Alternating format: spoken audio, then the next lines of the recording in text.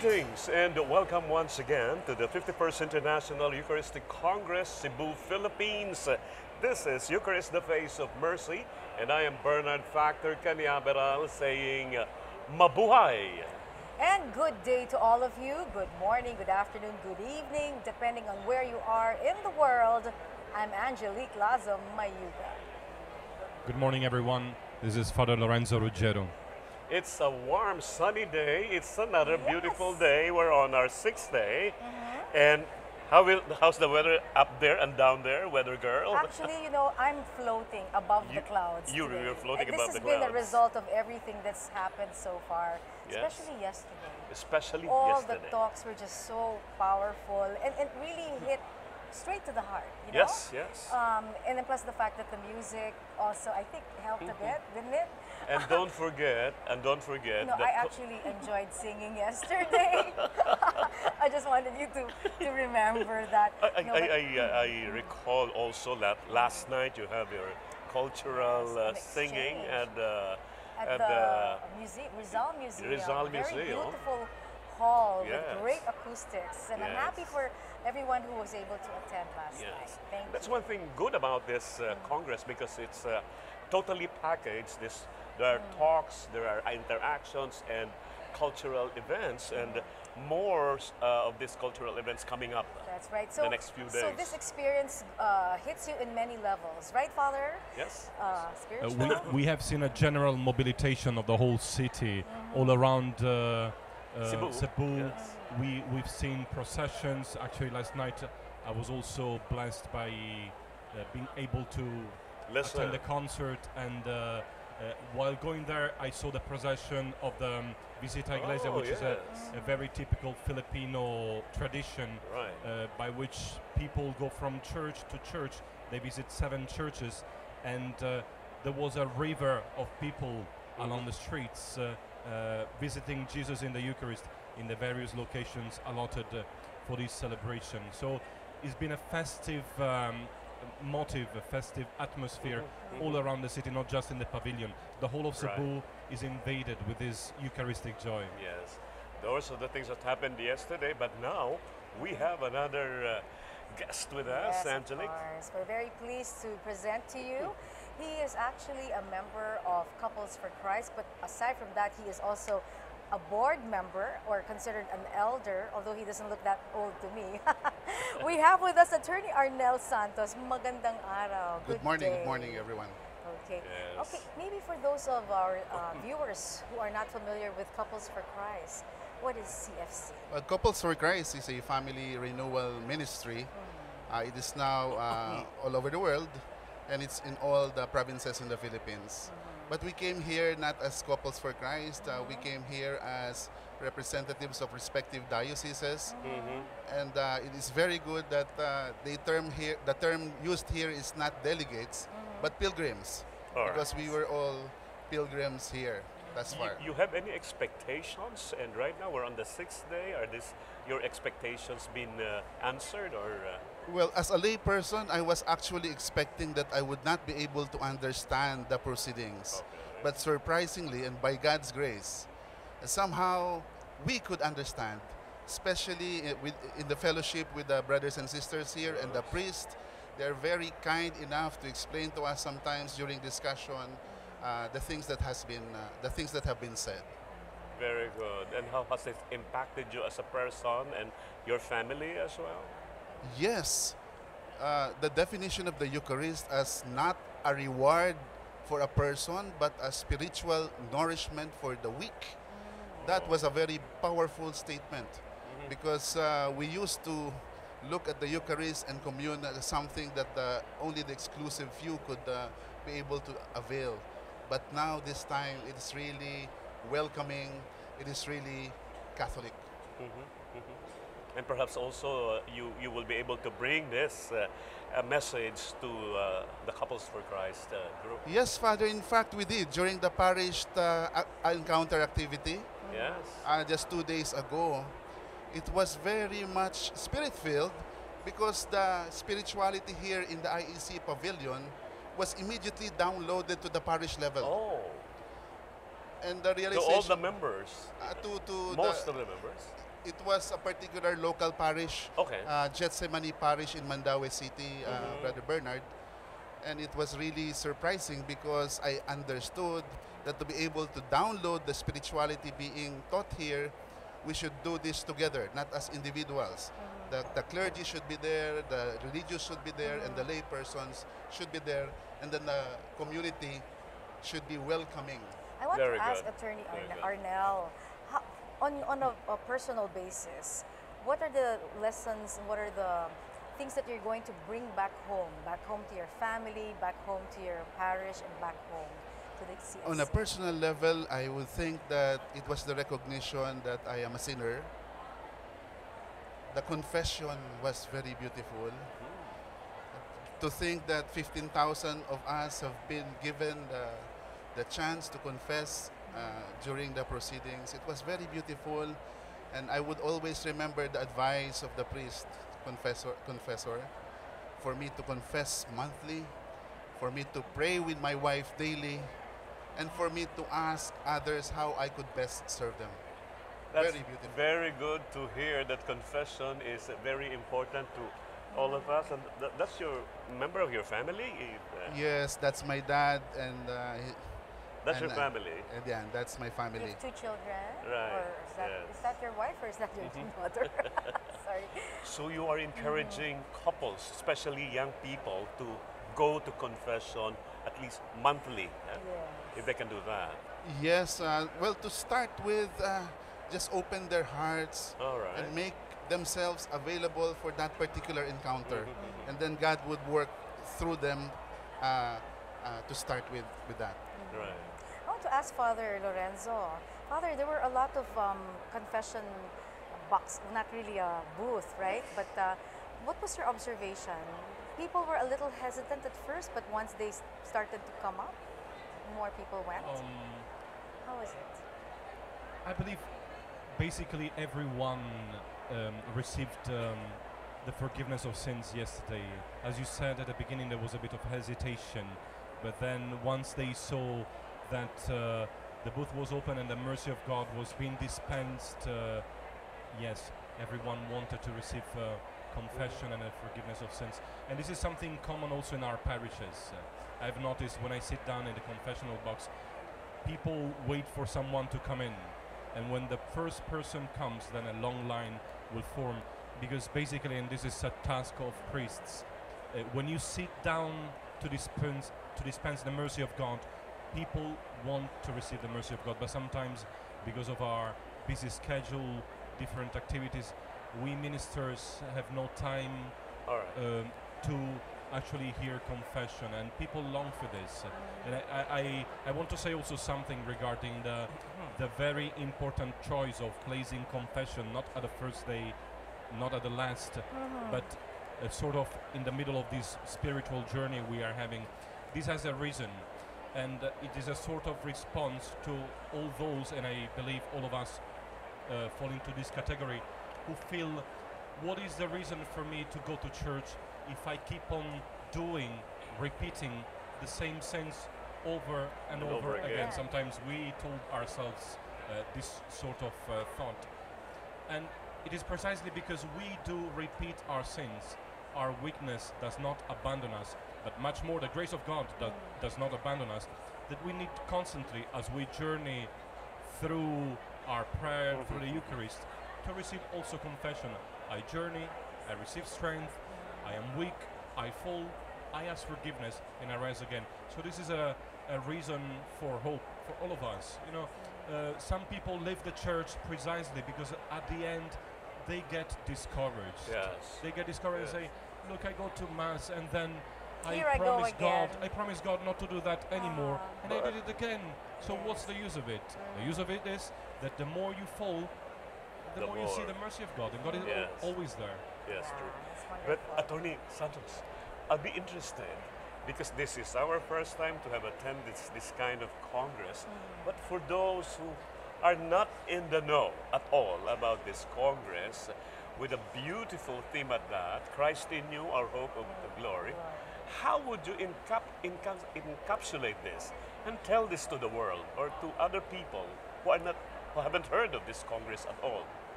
Uh, for the last few days, Brother Bernard, I've been doing notes and posting them on Facebook.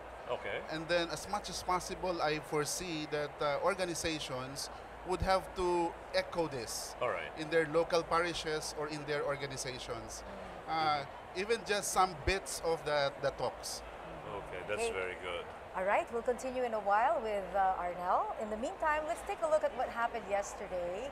Uh, first off, we have some video footage of the Visita Iglesia in seven churches. Okay, so um, this was where uh, the pilgrims were given an opportunity to visit the churches. The way we do this every time there is Holy Week. What day does this fall on, Father Lorenzo? Uh, usually, Iglesia, Visita Iglesia is on a Thursday. Visite Iglesia, yes. uh, It's usually on a the visitation Thursday. of churches.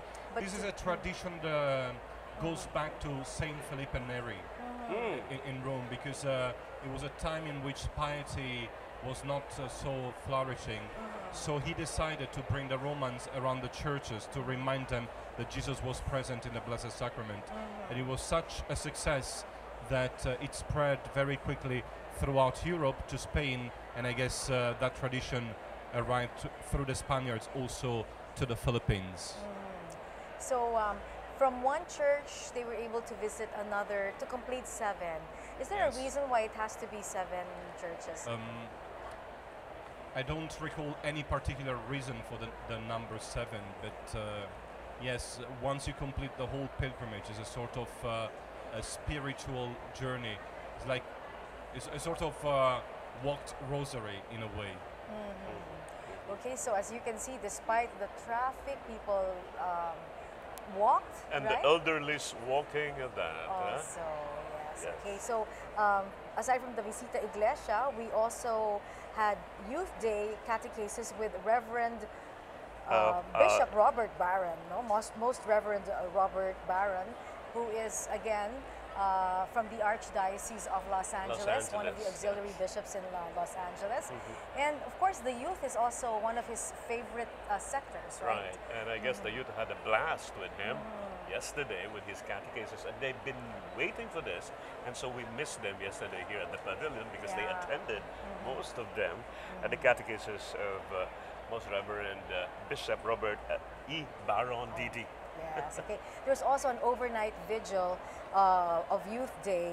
This was uh, with the testimony of the uh, Paul Ponce Oh, and his family.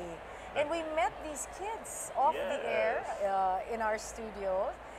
They're really I, I, cute, I aren't also they? had a wonderful time with them, Okay, yes, this is the Youth Day um, gathering. at the Hoops Auditorium here in Cebu. And there's a lot of them. Look, look at that.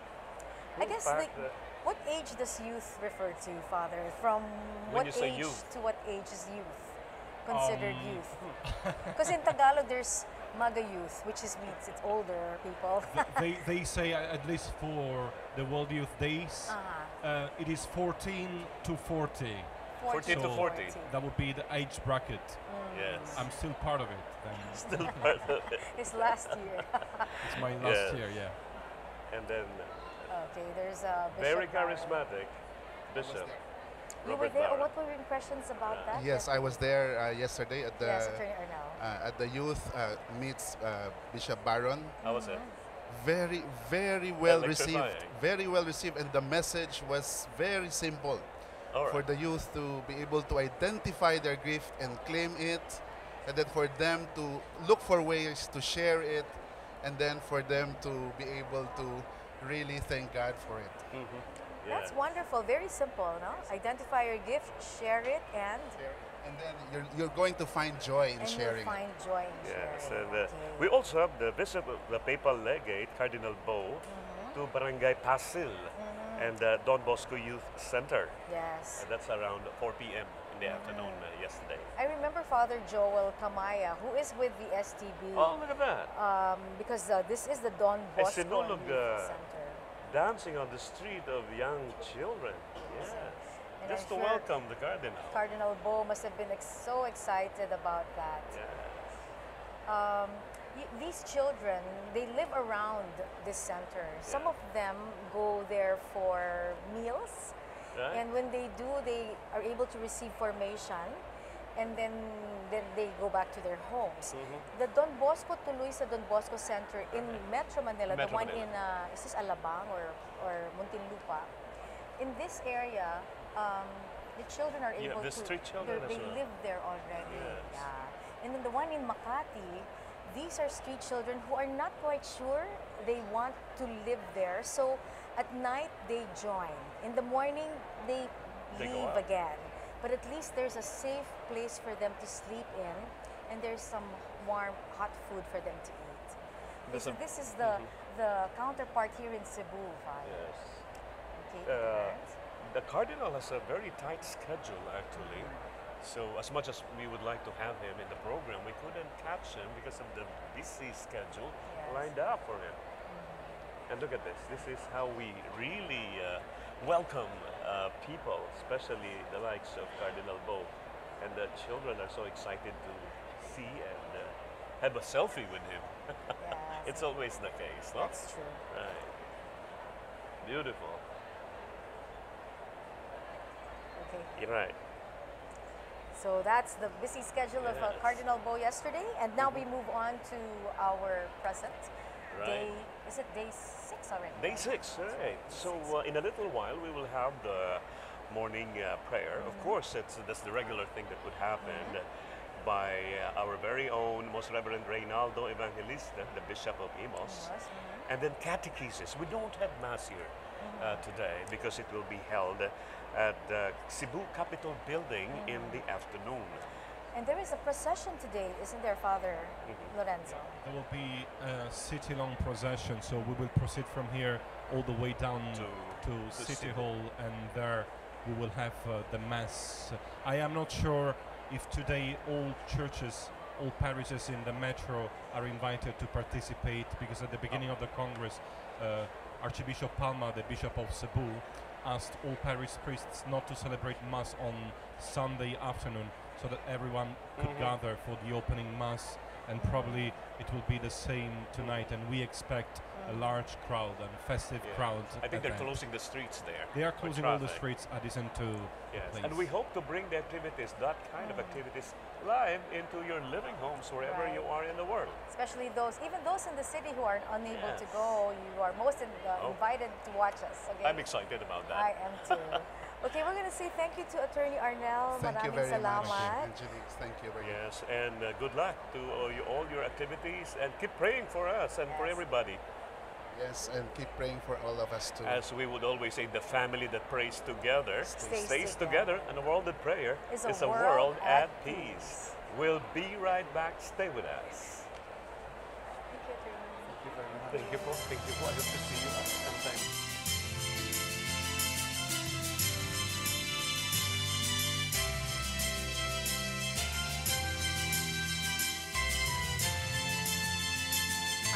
Mga bata dahil mataas ang matrikula.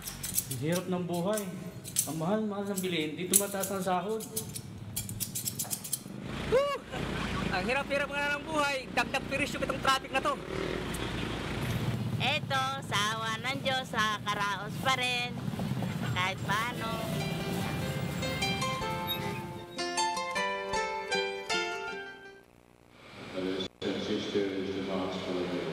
Praise to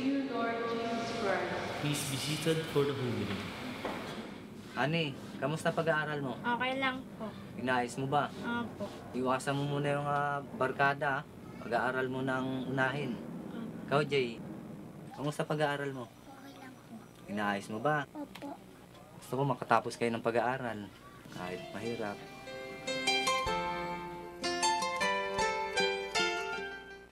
Ooh.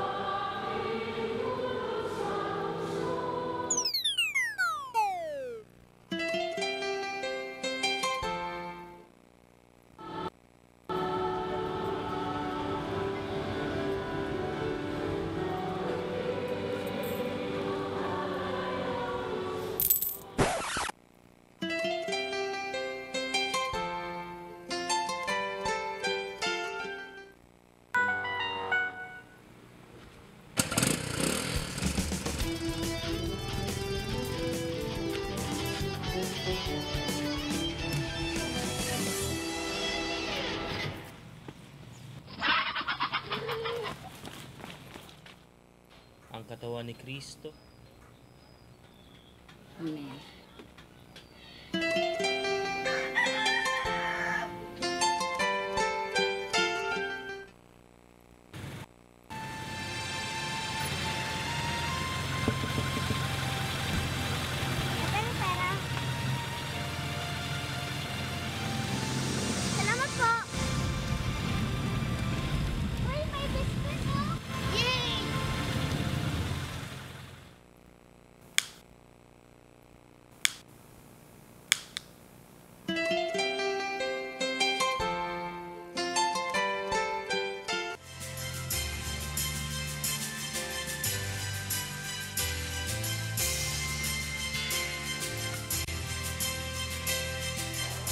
Welcome back to our special program, Eucharist, the Face of Mercy.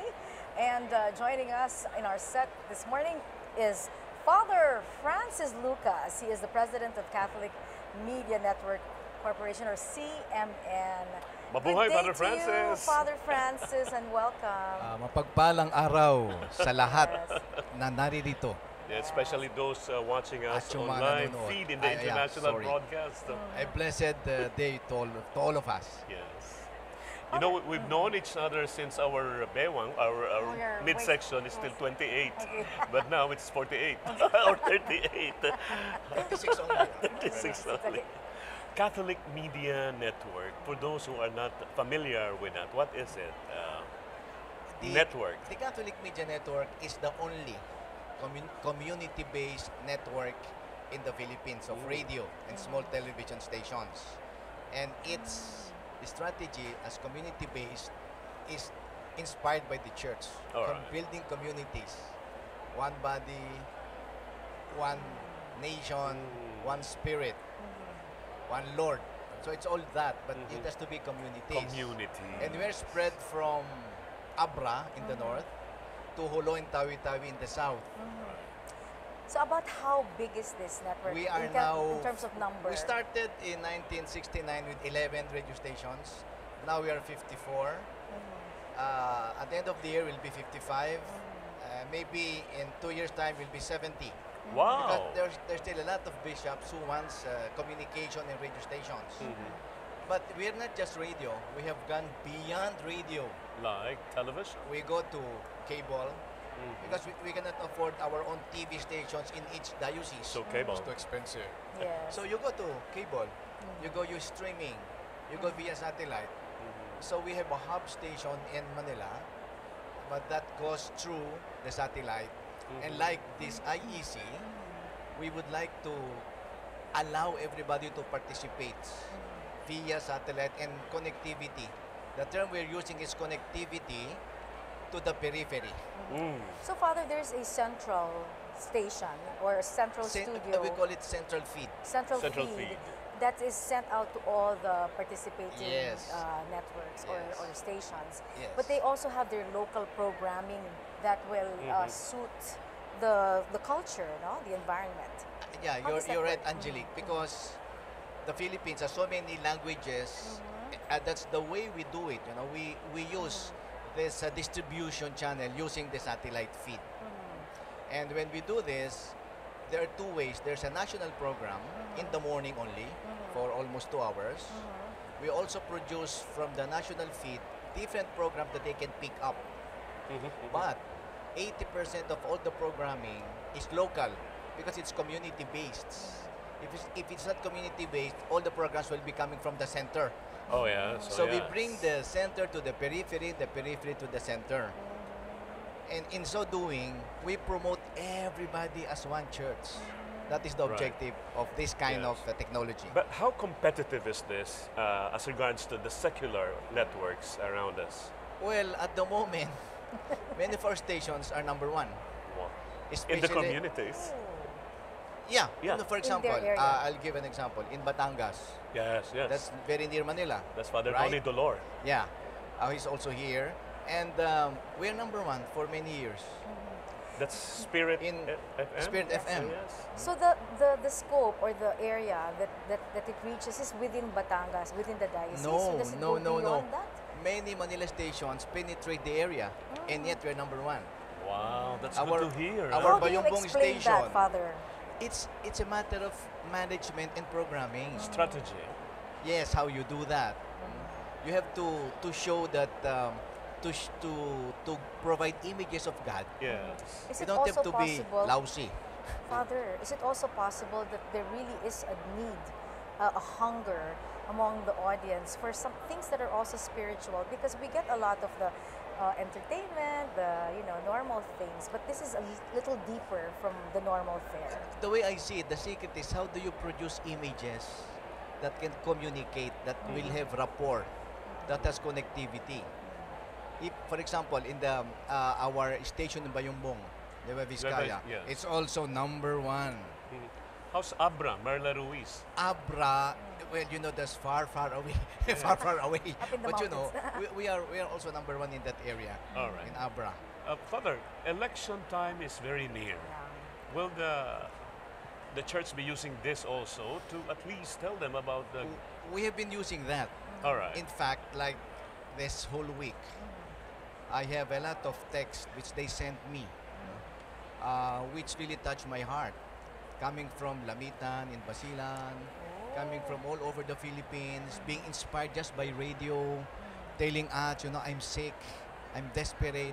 But when I heard about what's happening in IEC, I cried and cried and cried Beautiful. Yeah. from somebody from from Laguna uh, texted and said, "Now I want to serve the church and attend all these conferences." Mhm. That's the because of coverage, IEC. Father, of your This is the coverage huh? of uh, of CMN. Catholic Media Network. That's so all- you see on the left side, all our Spirit FM, the best. We call it Radio. Spirit. See that? Yes. Uh, and, and many of our stations are number one. And on the on right, the right side, side- are our AM stations, which we call Veritas, Radyo Totoo. Totoo, yes. Because you know you have to brand yourself and have a, a, is- a same name to be able to have impact. Correct. Because when yes. you say the the word of truth, Mhm. that's Veritas, Radyo Totoo in Tagalog. in Tagalog. While you have the Spirit FM, because the Spirit of God, the Spirit of the human person. Father, to operate, to run a station, very expensive. How do you handle funding and uh, strategies about the money? If uh, you have preferential option for the poor, and you try to be the poor church, you have also to strategize like the poor. All right. make the best of what little you have. Like we are now on US streaming. We're also in the cable. We're also on Mm. broadcast using Mm. transmitters. Yes. And we have also the satellite feed. So, you know, Alright. there are many choices that you can do. Platforms huh? Different platforms just for everybody who, who needs that platform. to propagate the good news. Propagating the news, the thoughts, the images. Uh-huh. So one of our secrets also is partnership. Because, for example, um, the Catholic Media Network has become global technically. Global. Yes. But we have also become global partnership-wise, EWTN.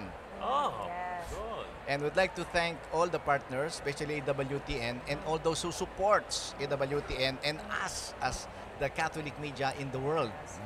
So this is how we, we live. Speaking of partnerships and the news, you know how it, it, it is uh, the political season now. Yes. Although here in the IEC, we hardly hear it because, you know, it's a good break from the noise. Um, what about politicians who are running for office? Do you get that kind of, uh, well, not really pressure, but, you know, um, sort of like they want to be part of your programming? How are you able to This say is- yes or no to that? This is uh, sometimes very funny.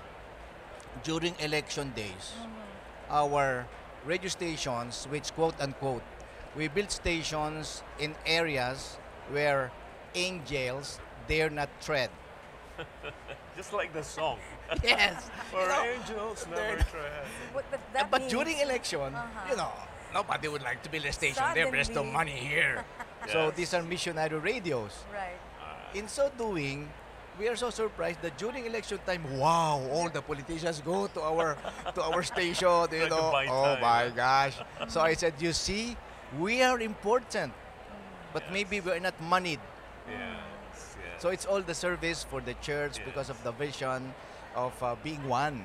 And uh, like this IEC, all the Catholic institutions in Yes. media we came together for this Yes. to spread the good news all over the country, all over the world. Yes. Of course, we have our own expertise like social media, Yes. television, and with the partnership also with the EWTN.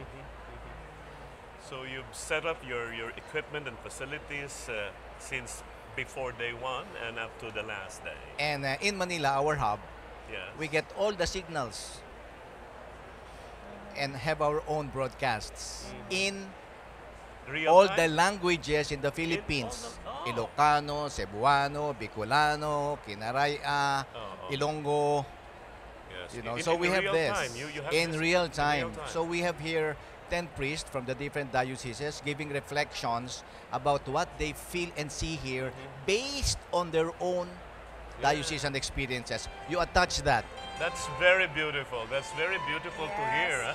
I was wondering if they needed an Italian correspondent who knows Filipino. We have Father, Father Lorenzo will be here to translate it in Italian. Yes. Lucas invites me, I can do so. That's right. I'll try to. We're hearing the opening song The already. Song, yes. You know, every day I hear this, it's become more and more beautiful because all the, the the lessons that we're Yes. learning are coming into the whole picture. So, Father Frank, Frank, thank you so much Thank for you so joining much. us today. So we thank the Lord and that we are able to bring the good news to the periphery in the Philippines to the Catholic I Media like that. Network. How is that again, Father? Uh, periphery? Periphery, connectivity to the periphery. Connectivity. And the periphery periphery. connected to the centers also. Beautiful. so and that's that to one God. day we shall all go to eternity. That's right. okay. So Yes, please go. stand by for our morning prayer, and that would be led by His Eminence uh, uh, Reynaldo Evangelista, Bishop of Imus, Cavite. He's wonderful. He's my bishop. And he's my friend since he was in the seminary. Would you believe? I could have been a Oh no. Yeah, somebody already called you father. He's just brother. They mistake me for one uh, always. Alright. And then also another beautiful sharing, a catechesis of uh, His Eminent John Cardinal Onaiyekan on the dialogue with the poor and the suffering. Well, we will have more for you within the day, so please stay tuned uh, for all of our interesting talks and our um, other events within the International Eucharistic Congress. So once again, Again, this has been your uh, host, uh, Bernard Factor Canyaberal. Uh, I'm Angelique Lazo Mayuga. Father Lorenzo Ruggiero. and we leave you with this word from the Philippines. Mabuhay! Mabuhay!